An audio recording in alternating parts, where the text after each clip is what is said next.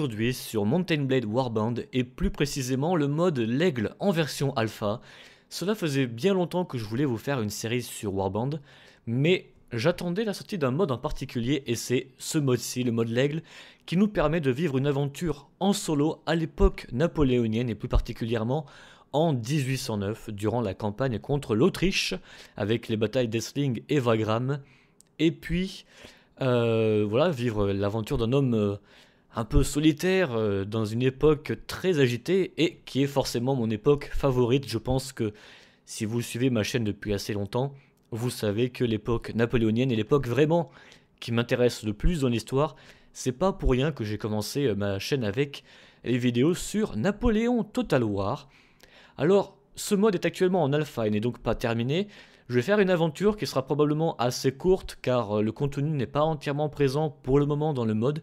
Et puis Warband étant un jeu bac il n'y a pas vraiment de début, il n'y a pas vraiment de fin. Et du coup on sait jamais trop quand s'arrêter. Donc je vais faire quelques épisodes histoire de vivre ensemble une petite aventure. Et ce sera l'aventure de Jean Boudet. Mais alors qui est Jean Boudet? Jean Boudet était un général du Premier Empire, donc de Napoléon, qui est né en 1769 comme Napoléon et qui est né à Bordeaux. Et c'est pour ça que j'ai choisi. Je cherchais un personnage qui serait né à Bordeaux, à incarner dans le jeu. Et il est d'autant plus intéressant, et ça j'ai découvert ça en lisant euh, sa biographie, il a fait quasiment toutes euh, les campagnes de la Révolution euh, jusqu'à l'Empire, que ce soit l'Égypte, l'Italie, la campagne de 1805 avec Austerlitz, tout ça. Et durant la campagne de 1809, où se passe cette, cette, cette série, eh bien, à la bataille d'Essling, qui a été plus ou moins perdue par la France, par Napoléon, il s'est illustré, et à la bataille de Wagram un peu plus tard, euh, son artillerie s'est faite euh, massacrer, et Napoléon l'a violemment réprimandé, et il s'est ensuite suicidé par, euh, honte de s'être fait réprimandé par Napoléon, et du coup, voilà, j'ai envie aujourd'hui de, redorer l'honneur de ce brave Bordelais, qui malheureusement a terminé malencontreusement par un suicide alors que l'avenir était devant ses yeux, une grande carrière, et nous allons tenter de retrouver ensemble l'honneur de Jean Boudet. Donc Jean Boudet était un brave homme, et nous allons tout de suite commencer ses aventures avec une nouvelle partie. Alors je découvre le mode plus ou moins en même temps que vous, euh, car j'ai juste le temps d'y jouer une petite heure histoire de voir si ça marchait bien, mais pas plus que ça. Euh, l'année est 1809, alors le mode est en anglais, pour le moment, je pense pas qu'il sera traduit, ça m'étonnerait. Mais euh, à part au début, après, il n'y a pas grand chose à lire. Donc euh, l'année est 1809 et euh, Napoléon Bonaparte, né en Corse, est assis sur le trône de l'Empire de France. Le règne de Napoléon en tant que dirigeant de la France a été une période de guerre perpétuelle avec une nation ou une autre. En effet, la France maintenant se trouve engluée dans un combat terrible dans la péninsule espagnole. Euh, reconnaissant là une opportunité pour réclamer euh, son territoire et le statut autrefois perdu, statut de l'Empire, euh, l'Autriche, même si elle n'a pas envoyé de déclaration de guerre officielle, a lancé ses armées contre les alliés de la France, la Bavière, l'Italie et la Pologne, en 1809 donc. avec Napoléon à Paris, commandant les forces françaises. attendez. Ah oui, avec, Napoléon étant à Paris, voilà, euh, le commandement des forces françaises en Bavière est tombé entre les mains du maréchal Berthier, chef d'état-major de Napoléon. Pendant ce temps, l'alliance avec l'Espagne, le Portugal et euh, l'Angleterre essaye désespérément euh, d'avancer au Portugal et dans l'Espagne du Sud. Bien. Nous allons choisir notre personnage. Lorsque j'étais enfant, mon père était un un noble. Après tout, nous sommes après la Révolution. Euh, vous êtes donc né dans une famille de nobles, à une époque qui euh, est très hostile à cette euh, classe. une naissance noble mérite le respect, et pour certains, ça mérite la mort, évidemment. Bon, là, plus trop maintenant, hein, on est quand même en 1809, la Révolution s'est terminée. malgré tout, vous avez eu des privilèges et une bonne éducation. Votre éducation va vous donner quelques talents pour vivre à la cour et quelques talents militaires. Vous devez apprendre euh, des choses du monde et vous commencez votre vie en tant que... Euh, un... On va travailler dans un magasin, pourquoi pas. Euh, comme un garçon grandissant, vous apprenez à devenir un marchand. Nous en sommes un négociant. Alors, un noble qui devient un marchand, c'est pas forcément possible avant, mais là, à cette époque-ci, on dirait que c'était possible. Comme par hasard. Normalement, les nobles n'avaient pas le droit de faire les métiers de, marchands, c'est pour ça que c'est la bourgeoisie qui s'en chargeait. Euh, mais il y a eu quelques exceptions assez minimes. Euh, vous avez voilà, fait de marchandage, de négociation, et vous êtes devenu un art dans le métier de l'achat, de la revente, ainsi de suite. en tant que jeune adulte, votre vie a changé, et vous êtes devenu eh bien, un jeune militaire, à l'école militaire, bien sûr. alors, vous êtes devenu un homme. Et le monde a changé autour de vous. Pas qu'un peu, j'ai eu 20 ans. Je vous rappelle que j'ai eu 20 ans l'année de la Révolution. Comme Napoléon, je suis né la même année que Napoléon. Donc 20 ans l'année de la Révolution, c'est quand même pas rien. Je me suis engagé dans l'académie militaire, comme Napoléon, et j'ai rejoint j'ai appris les tactiques, l'entraînement, la la la la, tralali, tout, là, tout ce qui parle de l'armée. Euh, ok, d'accord. Et euh, vous avez appris de vos camarades à avoir un estomac qui résiste à la boisson et au coup de poing. Ça peut servir. Euh, et vous, maintenant, vous décidez d'être un aventurier et on va chercher la revanche personnelle. Puisque je vous rappelle que nous devons retrouver notre honneur dans cette histoire. Euh, seulement vous savez pourquoi vous avez abandonné votre ancienne vie et que vous êtes devenu un aventurier. Cependant, ce n'était pas un choix difficile à faire, avec la rage qui brûle à l'intérieur de votre cœur. Vous voulez la justice, vous voulez la vengeance. Et euh, ce qui vous a été fait ne peut pas être retiré. Et ces dettes doivent être payées dans le sang. On ne va pas tuer Napoléon. On va essayer de payer nos dettes avec une meilleure morale. Voilà, devenons un aventurier. Alors, euh, je vais mettre ça parce que dans les séries, on ne sait jamais. Un ennui peut arriver à tout moment. Jean Boudet. Voilà, c'est nous. Très bien. Alors, on va mettre des points déjà. Hop, hop, hop. Très bien, on va essayer d'égaliser un petit peu partout. Euh, je vais augmenter euh, mon pouvoir en draw. Je crois que c'est ce qui va influencer euh, les fusils, je pense. Je vais augmenter le loot. Alors ça, le loot, c'est super. La mousqueterie à cheval, c'est super. le tracking également. Le pathfinding, comme ça, je pourrais trouver. Le spotting, je trouverai les gens plus facilement. Quand j'irai les chercher. la chirurgie. Soigner euh, les blessures de mes personnages, ou bien... Ouais, soigner les, blessures de mes personnages. Très bien. Là, je vais mettre quelques points dans le pistolet. Comme c'est l'arme qu'on a au début, on a tout intérêt à euh, l'améliorer. Je vais mettre un point en mousquet. Très bien. Chargeons. On va pouvoir créer son personnage. Alors, le personnage de base, ma foi, euh, me plaît bien. Il a une tête assez normale. Il a une tête à s'appeler Jean mais on va peut-être voir un petit peu tout ce qui nous est proposé. Au niveau des moustaches, avec quelques favoris. Hmm.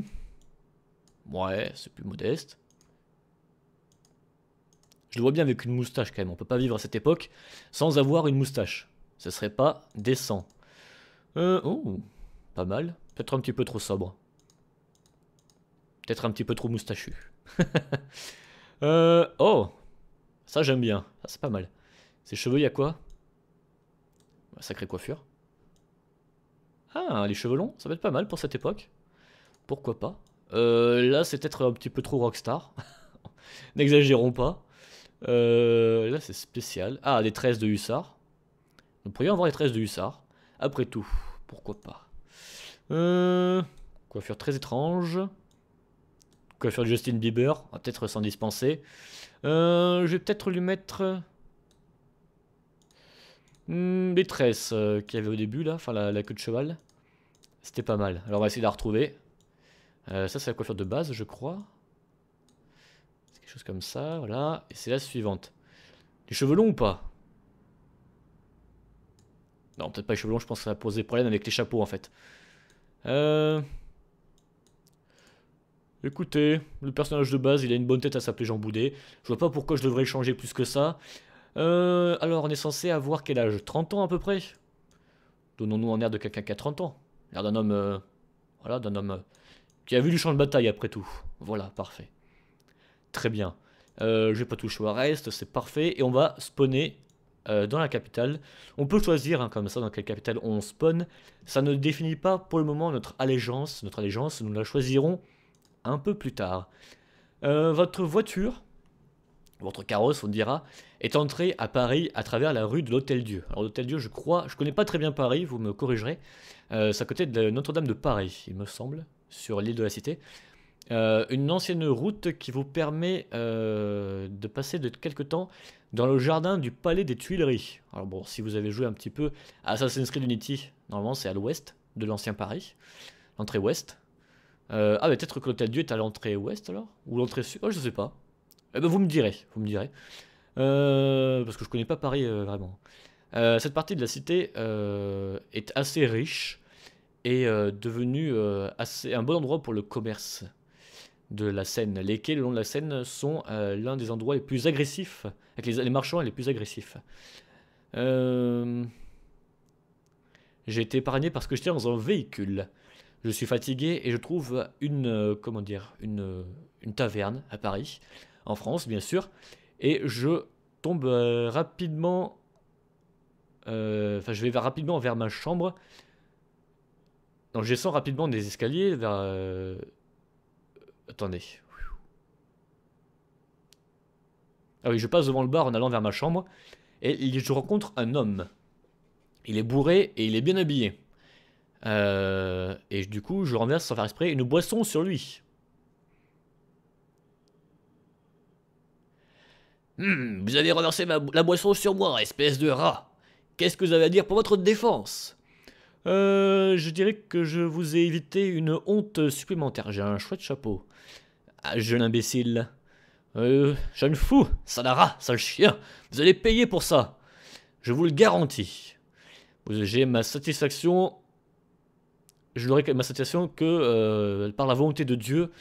Euh, trouvez une seconde et rencontrez-moi en dehors de la ville demain matin. Mon second vous retrouvera juste après l'aube. Rappelez-vous que euh,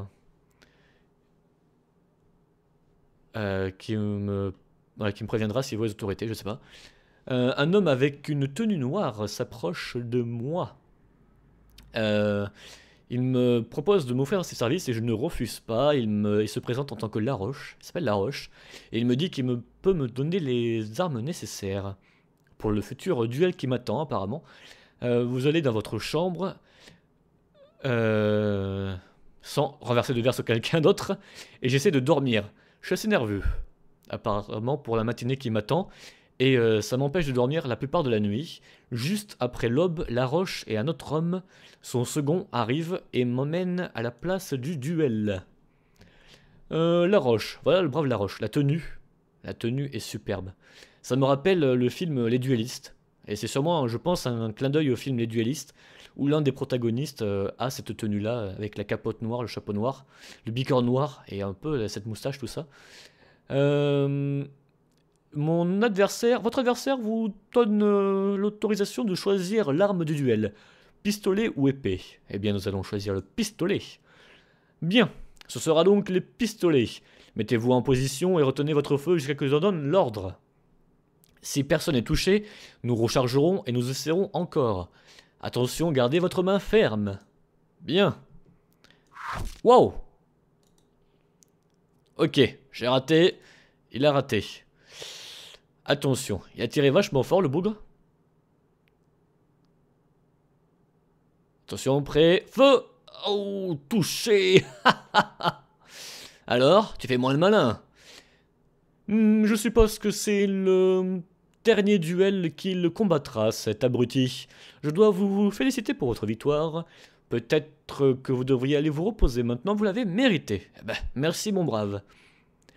Victorieux de ce duel, vous retenez à la taverne et vous tentez de vous reposer en essayant d'oublier de mettre derrière vous ce que vous venez de faire à l'instant. On dirait que ma carrière commence assez fort. Quand vous vous réveillez quelques heures plus tard, le duel semble une mémoire lointaine, un souvenir lointain et euh, vous avez quasiment oublié quand quelqu'un frappe soudainement à votre porte.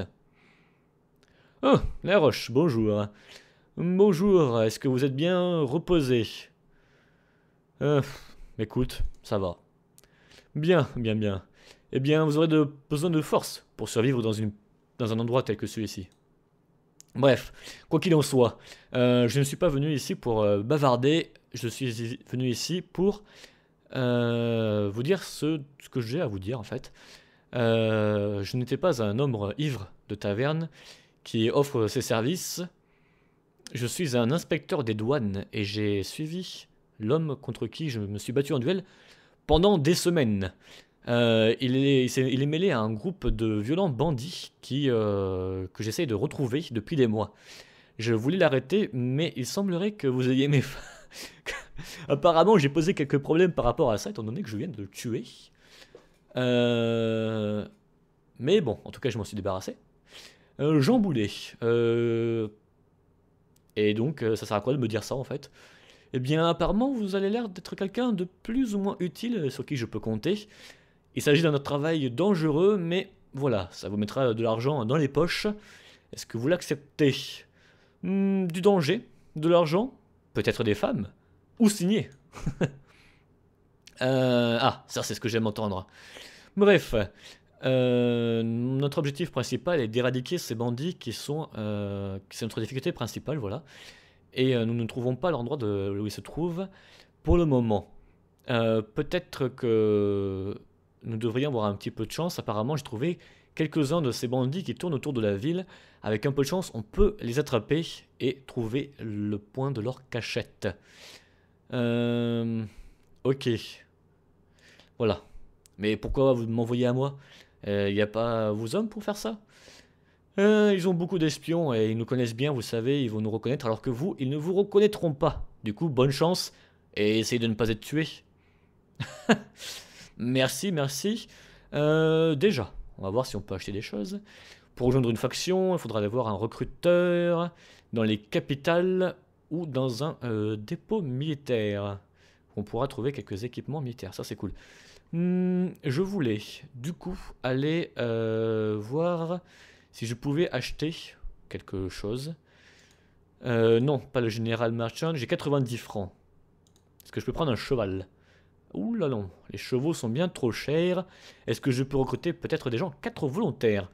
De l'infanterie de ligne. Est-ce que je prends l'infanterie de ligne ou est-ce que je prends de la cavalerie? Hmm, On va prendre l'infanterie de ligne. C'est pas mal, mais le corps à corps est un peu buggé. Actuellement, du coup, je me dis que la cavalerie, ça peut être pas mal. Cavalerie lourde ou légère. Hmm. La question est entière. Je vais peut-être prendre de la cavalerie, écoutez. Euh, lourde, c'est cool. On va voir. On va voir, on verra bien. On va partir et il faut que nous trouvions les bandits. Ah bah apparemment ils sont là. L'engagement va être précipité. Les bandits. Hé Vous avez l'air de quelqu'un de... Slash, bah. Bref. Euh, vous avez euh, des objets de qualité. Ah non, j'ai des objets de qualité que vous ne pouvez pas avoir dans les magasins. Mais rendez-vous, rendez-vous. Et dites-moi où se trouve votre refuge. Et peut-être que je vous laisserai survivre, éventuellement. Euh... Voyons voir comment tu fais face. Avec euh, comment tu nous fais face avec un couteau dans la gorge. Nous sommes 5. Alors nous allons y aller. 5 contre 4, sachant que j'ai déjà fait ce combat tout seul. Et j'ai gagné. Oh, mais j'ai un cheval. Oh, oh, oh, j'ai un cheval. Euh, ben, suivez-moi pour l'instant, écoutez. Me voici, Jean Boudet, pour euh, se présenter avec mais recrues, avec leur bonnet de, leur bonnet de caserne, de caserne, oui. C'est le bonnet de caserne, ils ont des chouettes chevaux. Très chouettes chevaux. Comment il est mon cheval? Et oui, comme j'ai fait une cavalière de militaire, c'est vrai. Euh, je dois avoir un cheval. Enfin, mon... J'ai fait l'école militaire. Du coup, j'ai un meilleur équipement que ce que j'avais lorsque j'ai testé la partie. Bien Allons-y Alors, j'ai un pistolet et j'ai euh, une espèce d'épée. Alors, on va donner l'ordre de euh, chargez Chargez Où est mon troisième cavalier? Ah. Attention. Je l'ai raté. Boum Allez Prends-toi ça. Allez, Jean Boudet, premier kill. Toi, tu m'appartiens. Raté. Jean Boulet aura son honneur de venger. Allez hop, headshot. Je vais recharger mon pistolet au cas où je pourrais éventuellement faire celui-ci au pistolet. Mais il y a peu de chance. Oh, quoique. Boum Allez Magnifique Bien joué, mes braves. À quoi tu ressembles, toi? Hmm, Une petite pipe. Bien charmant. Bon, c'est une victoire. Du coup, on n'a rien perdu. C'est parfait. Euh, ne me tuez pas, ne me tuez pas, s'il vous plaît, je, ne suis pas quelqu'un de si méchant. Euh, c'est juste que j'ai vraiment pas eu de chance dans ma vie, je, ferai tout ce que vous voudrez. Bien, je vais épargner ta vie, mais en échange, je veux des informations. Quelle classe, Jean Boudet Mais qu'est-ce qu'il est classe euh, Vous avez plutôt intérêt à me dire où se trouvent vos camarades bandits, où est-ce qu'ils se cachent, et que ce soit une bonne information, une information véridique. Je ne vous libérerai pas jusqu'à que je trouve l'endroit. Oh, merci, merci, merci. Je vous dirai où est-ce que ça trouve. Même, je vous le montrerai. Très bien. J'ai récupéré quelques petits trucs à vendre. Oh, j'ai un mousquet. Euh, le mousquet, je vais le garder. Je vais le garder. Je ne peux pas l'utiliser pour l'instant. Il euh, faut un peu choisir son matériel. Un pistolet, c'est bien. C'est plus précis. Un mousquet, c'est vraiment pas précis du tout. C'est l'horreur. En tout cas, j'ai un cheval. Du coup, je vais retourner à la taverne voir euh, mon brave Laroche qui va pouvoir me lire ce qu'il en est. il y a des voyageurs. Je vous laisse quand même apprécier la qualité des tenues, des graphismes sur ce mode. C'est fabuleux. Il y a des tableaux un petit peu partout. Il y a un homme qui fend des rançons. Ouh, c'est qui ça? Un fusil de Brunswick avec la tête de mort sur le chapeau. Génial. Génial. Oh, excellent. Ne bouge pas, un jour, je te recruterai. Mais pas tout de suite. Car pour l'instant, je dois aller voir ce brave Laroche. Voyons voir à quoi je ressemble. Oh. Attendez, je vais faire un petit screenshot. Euh, ma petite dame, vous voudriez bien prendre un petit selfie avec moi? J'ai pas l'air très... Euh, très, comment dire Très fréquentable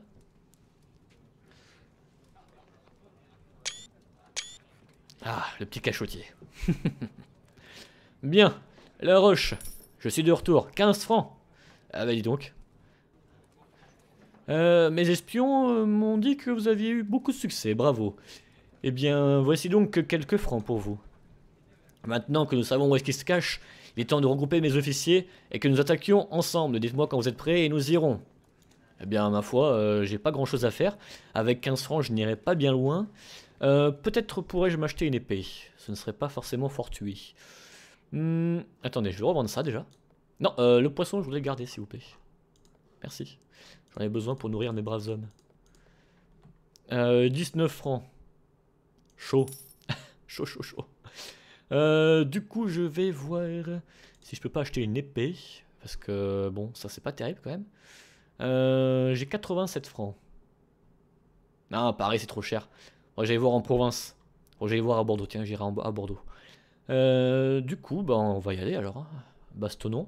J'aurais bien aimé avoir une épée. Peut-être que je devrais en récupérer une euh, sur un cadavre. Bien, roche. Allons-y. Nous avons des comptes à régler avec ces quelques menus frettins. Allons-y. Alors, je prends mon pistolet et on y va. La Roche. Où allez-vous? Ok, je crois que La Roche a décidé de mourir. Bon bah je vais suivre là où il va parce que tous les coups il va crever. Dans la première bataille que j'ai fait avec lui, euh, il est mort euh, dès le début, comme un imbécile. Et comme euh, nous, braves mousquetaires, ne sont pas les meilleurs hommes que nous puissions avoir... Ouch ça fait mal ça. Le pleutre. La roche. Ne meurs pas la roche. Boum Dans la tête. Dans la tête, ça, ça fait mal, hein. Alors, ils sont pas très... La roche, on se calme. Bon, bah, la roche ne veut pas se calmer. Euh, ils ont quoi comme épée par ici? Ah, une hache. C'est pas terrible. Ouh là là, il y a du monde. Bon, un de moins, c'est bon. Officier des douanes, Très bien, il reste encore deux là-haut. Est-ce que je peux avoir un tir d'ici? Ça aurait été épique. Sachant que la portée utile d'un mousquet euh, d'époque euh, n'est pas bien élevée, probablement une cinquantaine de mètres grand maximum, au pistolet peut-être un petit peu moins. Du coup, c'est relativement optimiste, très bien. Suivez-moi, on va monter cette colline et on va essayer de progresser pour mener l'assaut avec mes camarades des douanes. Je n'aurais pas pensé commencer les aventures de Jean avec un assaut mené par la douane. C'est pas forcément une aventure des plus communes, mais bien, allons-y, qu'il en soit ainsi. La roche est encore vivant, aussi étonnant que cela soit. Les mousquets aussi, voilà, font des effets de fumée qui sont splendides. Croyez-moi, quand il y a une centaine de soldats, ça commence à devenir la folie. Là, c'est pas une mission difficile, hein, c'est que le début de l'aventure, c'est pour nous familiariser un petit peu avec notre environnement. Je dirais juste à leurs pieds, On continue à avancer. Alors faut que je place mes soldats juste au niveau de cet arbre. Euh, si vous pouvez se ramener leur euh, fessier à proximité. Messieurs des douanes. Ah mais la roche m'obéit en plus. reste là, t'as raison. Allons-y messieurs. Ah, raté. Je tiens juste derrière lui. Alors attention. il réplique pas pour l'instant parce que... Ah, j'ai encore raté. C'est pas possible. Allons-y.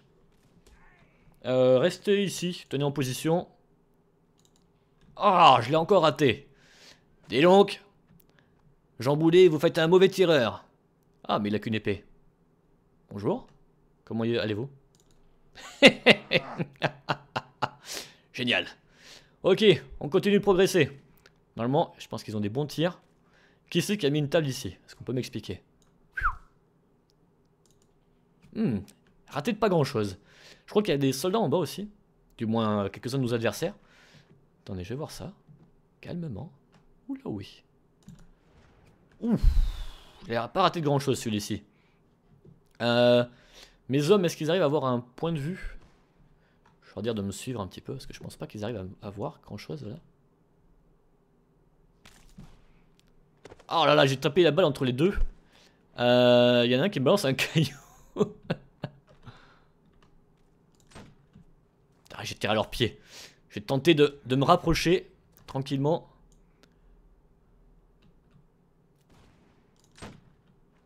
J'ai encore raté. C'est pas possible. C'est malheureux. Je vais essayer de me mettre derrière cette chaise. Règlement de compte à hockey Coral. Bon, euh, la roche. Pouvais être utile, bon, côté. Cet homme avec sa pierre n'a que trop duré. Ouch. Voilà. Voilà. Alors, fais-moi le malin maintenant. Non mais oh, c'est Jean ici.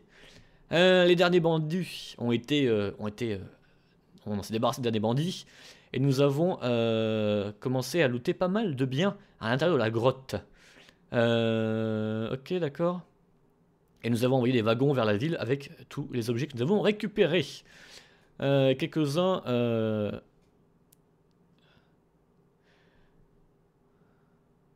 Ah bah nous, nous avons euh, pu rentrer euh, tranquillement chez nous. Très bien.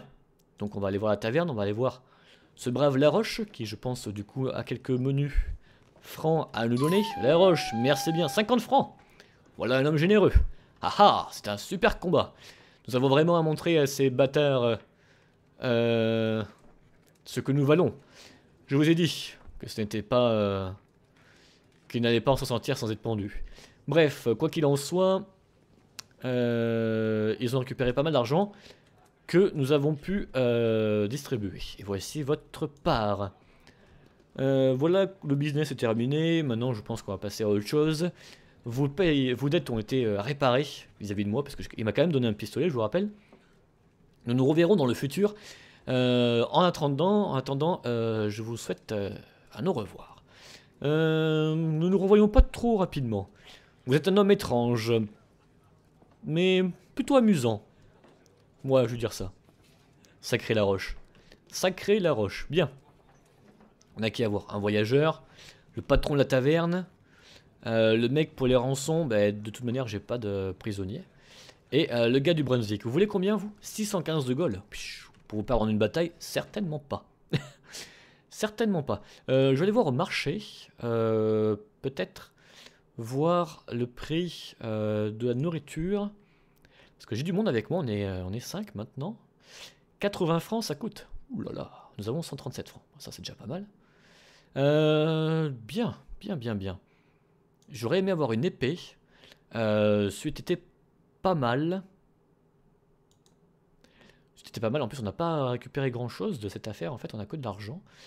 du coup, je vais aller à Bordeaux. Je vais aller à Bordeaux, mais d'abord, je crois qu'on a une petite visite à faire. Croyez-moi, elle en vaudra largement le coup. Nous voici donc à Paris. Ville d'époque était reconstituée. Bon, euh, c'est pas exactement comme Paris. Et en face de nous, si je ne fais pas erreur, c'est le palais des Tuileries, où euh, siégeait euh, Napoléon. Le palais de Napoléon, c'était le palais des Tuileries à Paris. Palais qui a été brûlé euh, en 1870 par des imbéciles qui ont mis le feu. Et ça a quasiment tout cramé, et puis bah, après ils ont comme la toiture, l'intérieur, tout ça a brûlé. Ils ont rasé les murs. Mais il y a eu pas mal de, questionnements pour pouvoir le reconstruire, même récemment d'ailleurs. Mais c'est un sacré palais, hein. vous pouvez voir par vous-même. Un sacré engin. Quelques travaux. Ah, un grenadier à pied. Bonjour mon brave. Voilà, un homme de la garde. Superbe, avec l'aigle sur le chapeau. C'est superbe, c'est superbe. Alors, un bonnet de caserne. Euh, recruteur de l'armée, on peut être recruté. Euh, Qu'est-ce que tu as à me dire, toi? Euh... Oh, je pourrais m'engager. Je vais pas m'engager tout de suite. Un canon, canon de Griboval. C'est probablement un 12 livres, celui-ci, en jugé par sa taille. C'est même très très certainement un 12 livres. Euh, l'arc de triomphe, alors, est-ce que c'est l'arc de triomphe du carrousel Celui-ci, comme je vois le, euh, ben, le carrousel au-dessus? Je crois que c'est lui. Euh, si je ne fais pas erreur, il me semble. Alors, je veux pas dire de bêtises. Mais je crois que c'était celui qui était à Constantinople, euh, durant l'Empire romain, qui a ensuite été pris par les Vénitiens, lorsque les, les, croisés ont fait le sac de Constantinople en 1204. Ils l'ont ramené à Venise, et quand Napoléon a pris Venise, après les campagnes d'Italie, il l'a récupéré et il l'a fait venir à Paris et il l'a mis sur de triomphe. Et je crois qu'actuellement, euh, il y a une copie, mais ce n'est plus l'original. Euh, je sais pas qu'est-ce qu'il en est advenu de l'original? Est-ce qu'il a été fondu pour des canons, un truc comme ça, comme c'était souvent le cas, avec euh, les statues de ce genre. Et c'était, euh, je crois, la plus vieille, enfin l'une des plus vieilles statues. Parce qu'en fait, elle a été faite vachement avant. Elle était à Constantinople, mais elle était très très ancienne. Ça faisait déjà très très longtemps qu'elle existait en Grèce.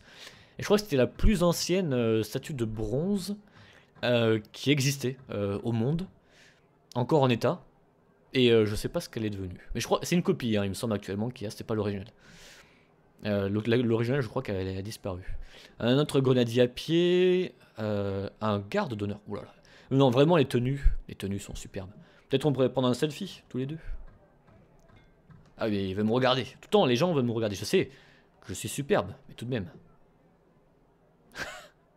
Ma tenue est pitoyable. Il va vraiment que j'achète une tenue un peu mieux que ça. Hop, allons-y. Rentrons au palais des Tuileries. J'espère qu'on faire... Ah, voilà. Super. Regardez-moi ça. Regardez-moi ça. Magnifique. Jean Boudet, aux Tuileries. Superbe. Superbe. Ah, le tableau de Murat à la bataille d'Aboukir. Durant la campagne d'Égypte. Ouh, on a une vue superbe comme ça. On se croirait en train de visiter un musée. Durant la campagne d'Égypte, la bataille d'Aboukir, et je crois que Murat était blessé durant cette bataille à la gorge, euh, qu'il y avait un officier euh, des Mamelouks qui faisait semblant de se rendre, et il allait le prendre prisonnier, et en fait, il a pris son pistolet, il a tiré sur Murat, sauf que Murat criait à ce moment-là, et du coup, sa gorge, euh, sa gorge était tendue, et du coup, la balle est passée, hop, sans rien toucher de grave. Murat aurait pu mourir durant cette bataille, ça lui aurait évité une carrière glorieuse, ça aurait été bien triste. Un grenadier, ne sont-ils pas superbes? Ça aurait été bien qu'il ait son fusil euh, à l'épaule plutôt que dans le dos, ça aurait été euh, plus cool, mais j'imagine qu'il y a quelques limitations. Vraiment, vraiment super. C'est magnifique. C'est magnifique. On peut voir par les fenêtres aussi, c'est vachement rare. On peut voir par les fenêtres, c'est vraiment immense. Hein. Le travail qui a été apporté euh, est fantastique. Absolument fantastique. Bonjour, je voudrais entrer dans le bureau de l'empereur, s'il vous plaît. C'est par ici. Bien. Allons-y.